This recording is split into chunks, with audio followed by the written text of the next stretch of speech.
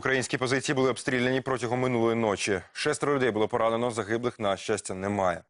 Напруженою залишається ситуація навколо траси Бахмутка. Стріляють також на Дебальцевському плацдармі.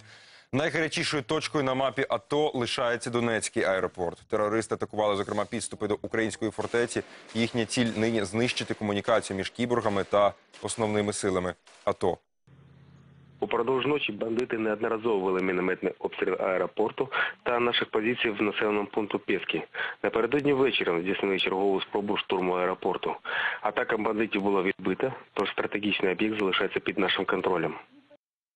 Сепаратисти захопили відділення одного з банків у Донецьку. Про це повідомляє Уніан. Погрожуючи зброєю, бойовики вдерлися до приміщення та захопили його. Себе при цьому терористи називали прокуратурою ДНР. Міліція вже порушила кримінальне провадження. Торговці Луганщини наживаються на місцевих жителях, підвищують ціни на продукти харчування. У селищах, які потерпають від обстрілів бойовиків, підприємці стали в рази менше привозити продукти. А ті, хто возить, підвищують ціни майже удвічі. Місцеві жителі, які місяцями не отримують соціальних виплат та пенсій, скаржаться, що опинилися на межі голоду. Підприємці виправдовують зріст цін підвищеними витратами на доставку товарів. Вот яйца были вот во время военных действий 19,50 это десяток яичек. Ну, мы их не брали. Я за все время яйца не съела, ничего. В холодильнике не можем ничего положить, сами понимаете. Если свет был, так было все тут. И полуфабрикаты, и мясное, и все-все было. И мороженое. Сейчас ничего нет. Сьомий гуманітарний конвой з Росії має прибути сьогодні на територію України. 82 фури в'їдуть з боку Ростовської області. Російська сторона каже, що там харчування, пальне, будматеріали та ліки. Українські дипломати наголошують, Москва, попри домовленості, не допускає міжнародний червоний хрест до гуманітарних вантажів та його розподіл серед мешканців зони бойових дій. Тому проконтролювати, що саме завозить та вивозить Росія з території України, наразі неможливо. Якщо Росія погіршуватиме ситуацію в Україні, на неї чекатиме посилення санкцій. Таку заяву прем'єр-міністр Британії Девід Кемерон зробив в Австралії напередодні саміта Великої Двадцятки. Девід Кемерон зауважив, що якщо Кремль дозволить Україні розвиватися як вільній та незалежній державі, санкції можуть і скасувати. Дводенна зустріч Великої Двадцятки стартує е, в австралійському Брізбені сьогодні вночі за київським часом. Події в Україні будуть однією із центральних тем саміту. На Путіна, запрошення для якого не скасували попри шквал критики, чекають непрості розмови щодо України та збитого малазійського Боїнга. Якщо Росія обере позитивний підхід до свободи та відповідальності України, це може призвести до скасування санкцій. Якщо Росія продовжить погіршувати ситуацію, це може призвести до їх розширення. Все просто. Лідери п'яти політичних сил, що мають намір увійти до складу парламентської коаліції, вже сьогодні по обіді планують парафувати текст угоди. Питання, які залишилось ще погодити, це фінансова та бюджетна сфера.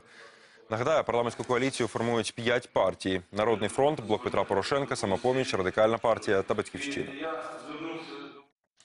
Україна втратила вірного друга. Так соцмережі відреагували на раптову смерть екс-міністра економіки Грузії та автора економічних реформ країни Кахи Бентокідзе. Він помер учора у Лондоні на 59-му році життя. За попередньою інформацією від серцевої недостатності. Співчуття рідним загиблого висловив президент України Петро Порошенко. У травні цього року він запросив Каху Бендукідзе стати членом економічної та дорадчої ради при уряді України.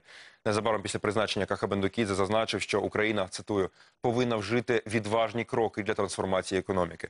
Запропоновані ним реформи включали зміну податкової системи, підвищення цін на споживаний всередині країни газ, скорочення державного апарату, зокрема співробітників правоохоронних органів та жорстку боротьбу з корупцією. Вибух в харківському пабі, внаслідок якого постраждали 13 людей, здійснили за допомоги магнітної міни радянського виробництва. Про це заявив очільник Харківської СБУ. Місцеві силовики разом з головою облдержадміністрації відвідали лікарню, де перебувають шестеро постраждалих від вибуху. Двоє з них все ще у важкому стані. Місцева влада обіцяє надати допомогу потерпілим від 7,5 до 15 тисяч гривень кожному. Силовики ж наголошують, що з'ясували вже чимало важливих обставин теракту. Що купити українським бійцям в АТО? На військовій виставці Івано-Франківську є усе, що потрібно на передовій: від теплих рукавиць та рюкзаків до приладів нічного бачення, шоломів та бронежилетів. Презентовані речі привезли з-за кордону. Кажуть, усі вони стоять на озброєнні армії європейських країн. І хоч більшість була вже у житку, е, однак вони набагато якісніші та міцніші за вітчизняні аналоги. Одяг він головний, але одяг мусить бути якісний, однозначно. Не можна думати, що, скажімо, звичайний сведер може замінити тактичну рубашку військовому. Потрібні хороші резинові чоботи, хороша форма, яка дає можливість не мокнути, а потім не мерзнути. Палатки обов'язково, які мають мати хоч якесь опалення, обов'язково, ну і медичні засоби. Кримські харчі в Росії вивозять регулярно, а от назад постачають з перебоями та ще й з націнкою. Вартість кримських яблук тепер стартує від 50 гривень, за огірки правлять з 35, а гречка здорожчала на 20 гривень. Піднялася ціна також на м'ясо, цигарки, алкоголь та цукор. Українського рису на півострові вже майже немає, а кримський не вирощували через проблеми з водою у північно-кримському каналі. Подешевшила хіба що картопля, яку завозять сумські та вінницькі підприємці. Россільгоспнагляд вирішив боротися з дефіцитом за допомогою материкової України. Росіяни зняли обмеження на ввезення української продукції на півострів. Больше мы здесь заботились о наших собственных предпринимателях, чем э, о какой-то геополитической ситуации. Крымчане, которые заключили контракты, по ним проплатили, должны получить